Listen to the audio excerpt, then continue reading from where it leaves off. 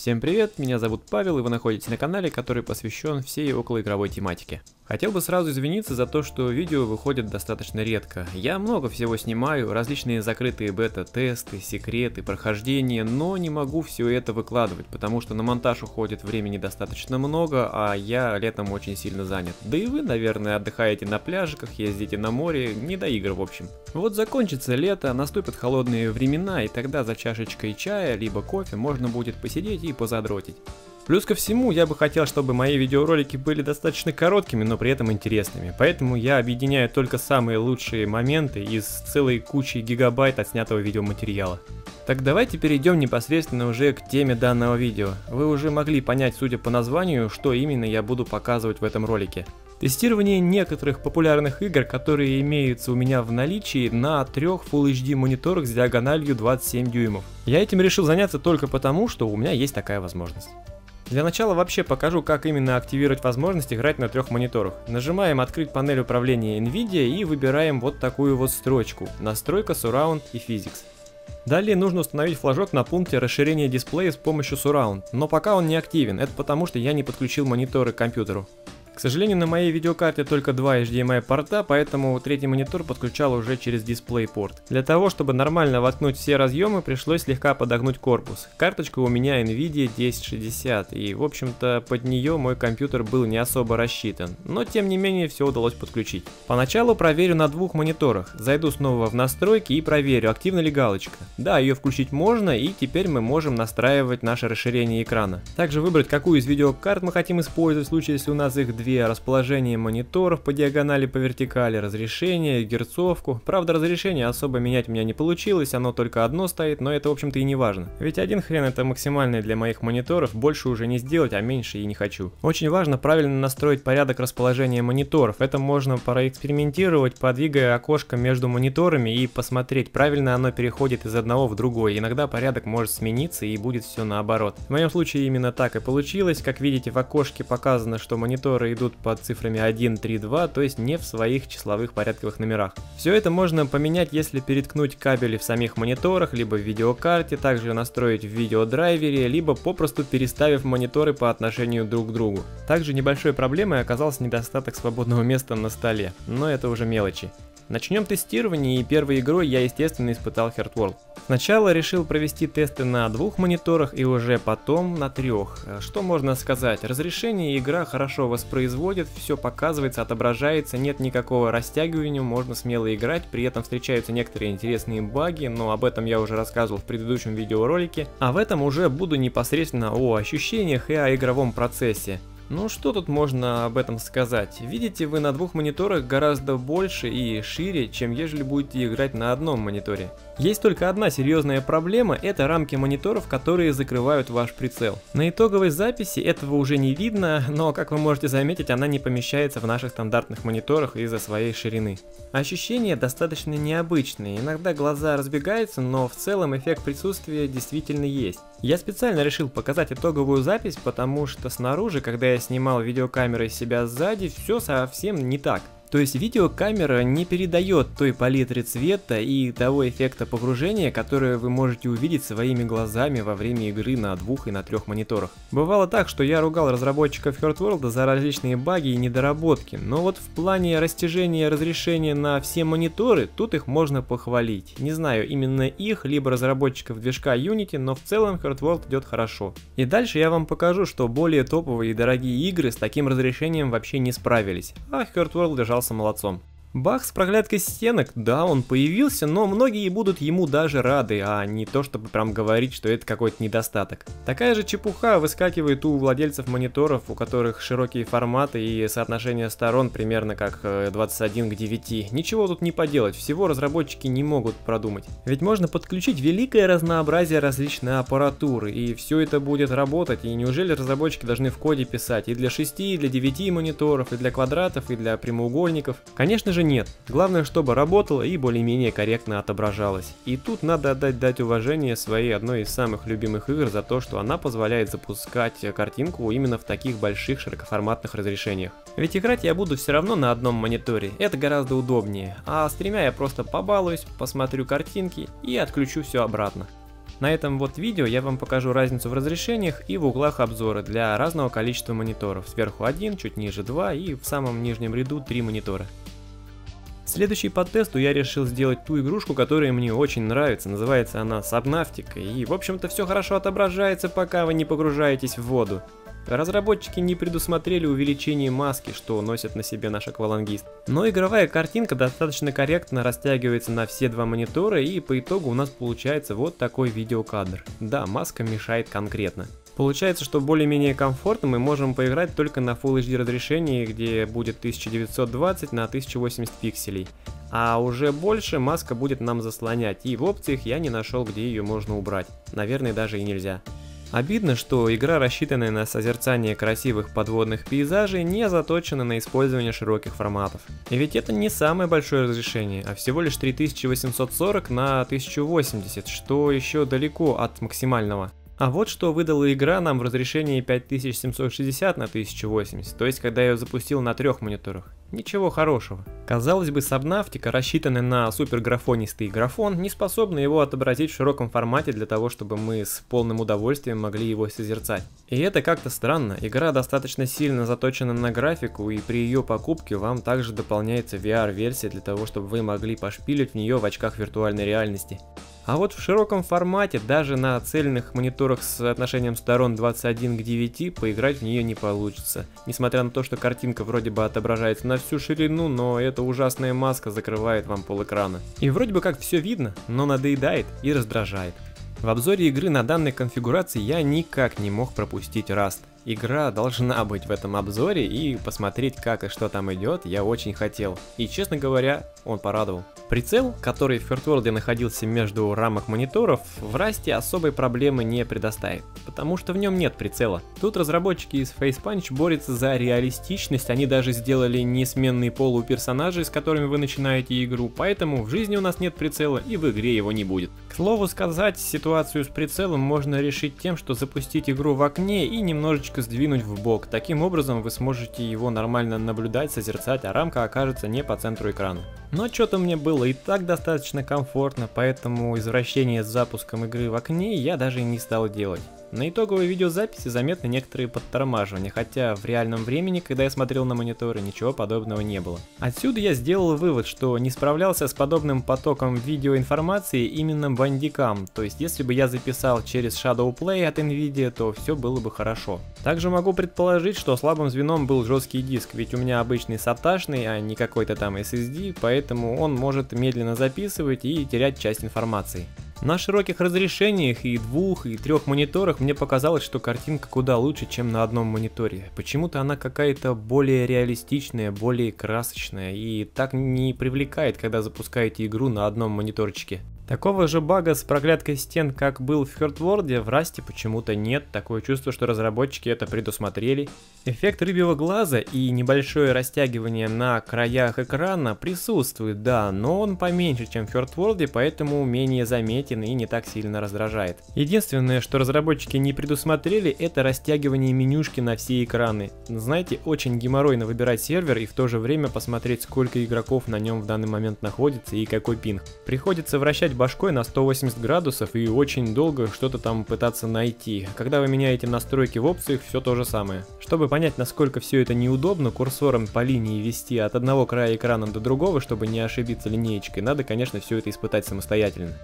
Возможно, вы уже заметили, что при запуске на трех экранах с тенями творится какая-то невообразимая дичь. Думаю, это происходит по тем причинам, что видюшка не успевает справляться с обработкой всей графики на таких огромных разрешениях, ведь ей нужно выводить картинку с разрешением в 5760, при этом обрисовывать все тени, эффекты, освещение, блики, различные взрывы, пыль и это достаточно большая нагрузка. На моей видюшке 1060 от NVIDIA есть функция тихого охлаждения, то есть кулера не вращаются, пока она не достигнет более-менее такой приличной температуры, по-моему, около 60 градусов. И они наконец-то завращались, то есть такое разрешение способно нагрузить эту видюшку. И это при учете того, что я заранее снизил графику для того, чтобы нагрузку на видеокарту уменьшить. В целом играть на таких форматах в Расте удобно, комфортно и даже приятно. И я бы всегда так играл, и однозначно этой игре зачет зачет за то, что все хорошо предусмотрено и сделано. Ну раз уж мы начали тут разговор об играх, которые смогли, то сюда же мы запихнем и контру. С отображением картинки на таких широких форматах игра справляется отлично. Единственная проблема со всеми надписями, то есть чат, какие-то панельки здоровья, оружия и различные иконки, все это очень большое. Но в целом, наверное, все это и не важно, ведь играть на таких конфигурациях и таких мониторах вы вряд ли будете. Игра больше заточена под один монитор и становится неудобно, когда вы растягиваете картинку на такую большую длину. Однако ж все равно для таких же извращенцев, как я, которые хотят ну просто проверить, а что будет, если подключить вот так вот три монитора, либо для тех, кто обладают мониторами с соотношением сторон 21 к 9, игру сделали способной воспроизводить такие разрешения и все нормально и корректно отображать. Правда, на двух мониторах играть будет неудобно, прицел оказывается как раз ровно между рамок, и тут это играет очень большую роль. Ведь в контре-то по сути важен каждый миллиметр, чуть двинули уже не попадаете, или прописываете хедшот. В общем, все решает вот такие вот маленькие незначительные движения, плюс ко всему разброс пули и все такое, но это я уже не буду учитывать. На трех мониторах таких проблем прямо нету, но единственное, что ваше боковое зрение ничего не будет улавливать с правого и с левого монитора, потому что вы просто будете следить в основном за центральной областью вашего основного экрана. А вот теперь игра, которая однозначно рулит и побеждает все прочие в данной категории, которая отобразила во всех разрешениях все просто на идеале. Everspace, игра, которая достаточно быстро смогла выйти из раннего доступа, считается мною, наверное, одним из лучших рогаликов, в которые я играл, и, в общем-то, она идеально справилась со всеми разрешениями. Сейчас посмотрите, как она работает на одном мониторе. А теперь для сравнения, как сильно увеличивается площадь обзора, если вы играете на двух мониторах. Не слабая прибавка, да? А теперь давайте сравним две картинки между двумя и тремя мониторами. Тут уже мы начинаем видеть и все внутренности корабля. Вообще просто супер, я даже не знаю, знаю, как это описать. Мало того, что виды в Everspace и без того хороши, а на трех мониторах у вас есть какой-то такой эффект более полного погружения, или не знаю, как это еще назвать. Не VR, конечно, но какая-то его демо-версия. Конечно, играть на трех мониторах в подобные игры я считаю все равно извращением. Я все это запускал лишь для того, чтобы посмотреть картинку, проанализировать как оно и испытать какие-то ощущения. Вот такая разница между одним монитором и тремя мониторами. Это сейчас, когда картинка находится в пределах пределах нашего поля зрения, достаточно в узком формате, мы видим практически все и сразу, и это действительно функционально. Вы можете любого врага заметить еще на подходе. Но когда вы играете, обставив себя мониторами, большую часть изображения вы ловите лишь боковым зрением, которое не особо-то и фокусируется, и лишь только центральную часть вы нормально воспринимаете и можете быстро реагировать. А вертеть башкой, разглядывая все на всех трех экранах, не совсем вам будет уютно, комфортно, удобно и быстро утомитесь и, возможно, даже даже и голова заболит. Но самое главное, что видно, игру запиливали под такие разрешения. В ней все ярлычки находятся по центру, а не как в контре на крайних экранах. То есть все сделано для комфортного применения. Да, глаз не фокусируется на изображении, выводимом на крайних мониторах, но зато присутствует эффект погружения. В данном соревновании Everspace просто забирает первое место за то, что в нем все продумано для использования такой графики. А вот теперь пошли аутсайдеры, игры, которые совершенно не смогли справиться с задачей, и первое в этом списке будет Overwatch. Честно говоря, игры от Blizzard меня последнее время только расстраивают. Даже в таком незначительном испытании, как отображение игры на трех мониторах, либо хотя бы на одном широкоформатном мониторе, здесь не прошла игра. Даже Heart World и Counter-Strike справились с этой задачей, а тут игруха за два штукаря ничего не может сделать. Вот максимум, который мне удалось получить в Overwatch, и можете сравнить с Counter-Strike. Больше эта игра не может ничего сделать. Как я ее не пинал, как не менял настройки, ничего не получил. А вот еще одна игра, которая решила пойти другим путем. Она попыталась обмануть и сделать вид, что удачно отображается на все экраны, хотя на самом деле просто на них растягивалась. При этом картинка у вас была гораздо меньше, чем на одном мониторе. Ark Survival Evolved – очень классный проект, который бы я очень хотел видеть на всех трех мониторах, но, к сожалению, игра для них не предназначена, и в нее можно поиграть только на одном. С двумя экранами ситуация вроде бы как не особо плачевная, и мы что-то видим, что-то отображается, но можно заметить, что руки откуда-то выскакивают из-под экрана, и особо их не видно, они как будто все урезаны. Но ситуация очень сильно прояснится, как только игру мы запустим на трех мониторах. И тут вот начинается полный атас, вы как будто смотрите на игру через замочную скважину. Очень сложно вращать камеры, очень сложно что-то рассмотреть, и возможно некоторые спросят, а кому это нафиг надо, все играют на одном мониторе. Да, это именно так, но дело в том, что у некоторых есть широкоформатные мониторы с соотношением сторон 21 к 9, и как им играть в эту игру? Дело в том, что они получат уменьшенный обзор. Можно, конечно, уменьшить разрешение, сделать его более квадратным до привычного монитора, но тогда на широкоформатных будут сбоку полосы, а это как-то неуютно. Хотелось бы, чтобы мир игры отображался на весь экран. А игра будет вот таким образом растягивать картинку, убирая все, что не вместилось за границы обзора. И это очень неудобно, ребят, очень. Вот поверьте, я пытаюсь перемещаться и хоть как-то понять, где я нахожусь, но это сложно. Рук вообще практически не видно, даже когда вы собираете траву. Вы просто видите, что она у вас собирается. Я пытался всячески изменить разрешение, настроить окно, запустить игру в режиме окна, подвигать. Нет, нифига не получается. Арк не предназначен для таких разрешений, хорошо это или плохо, судите сами. А вот еще игры, которые очень радуют на подобной комплектации мониторов, и это Blade and Soul. Также сюда войдут любые другие корейские ММО проекты, World of Warcraft и все прочее. Теперь красотами глянцевых булок вы сможете наслаждаться в очень больших разрешениях и широких форматах. Но не попами одними славятся данные игры, и пейзажи достаточно красивые, и лицезреть их в широком формате одно удовольствие. Единственная сложность поначалу, что панели разбредаются по всем мониторам, но благо в этой игре есть возможность их настроить и сдвинуть так, как вам удобно, и я думаю такую функцию нужно добавить вообще в каждую игру. Также присутствует возможность вообще убрать весь интерфейс с экрана и лицезреть красивую картинку, а управлять все хоткеями. Я думаю, вы можете заметить, что ширина обзора действительно увеличивается и эффект рыбьего глаза так сильно не проявляется, как во многих предыдущих играх. И несмотря на то, что Blade and Soul не особо-то меня и привлекает, ведь на данный момент в игре кроме няшных красоток и изумительных пейзажей ничего интересного я больше не увидел, но тем не менее игра отлично справляется с данной задачей. А это значит, что разработчики все-таки там не дурака валяют, а продумывают все до мелочей в своей игре.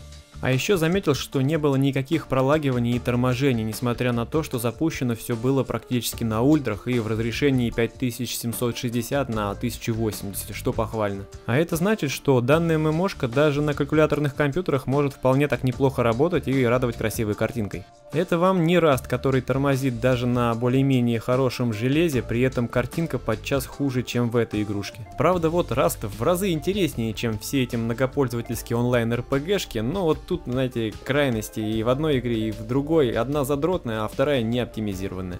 Будем надеяться на улучшение ситуации, а пока на данном этапе я решил закончить с тестами всех интересных игрушек. Лучше всего показала себя, естественно, Everspace и Blade and Soul, а очень плохо показали себя Overwatch и Subnautica, к сожалению. А, ну да, еще и Ark. Вот это было вообще полное разочарование. Но для людей, не обладающих тремя мониторами и не совершающих подобные аппаратные извращения, разницы в этих играх не будет никакой, все они будут хорошо идти, и тут уже дело предпочтений. Я всего лишь хотел протестировать наиболее популярные игры, некоторых у меня, конечно же, нет, но те, которые были, я испытал. Нагрузка при таких тестах на видеокарту очень сильная и немногие карты позволят вообще подключить три монитора, но тем не менее, что получилось, то и показал вам, надеюсь данный видеоролик был интересным и хоть какой-то информацией, в основном даже развлекательной, он вас снабдил. Играть в таких больших разрешениях и в данной конфигурации мониторов хоть и прикольно, но со временем утомительно и становится неудобно, так что это не для постоянного пользования, а только для того, чтобы испытать ощущения. Что ж, если видео вам понравилось, то можете поставить ему лайк. Также пишите все ваши мысли в комментариях под данным видеороликом, я их читаю и стараюсь как можно быстрее отвечать. На сегодня у меня на этом все. Спасибо за просмотр, лайк, либо комментарий, за любое участие в жизни канала. Увидимся в следующих видеороликах. Всем пока!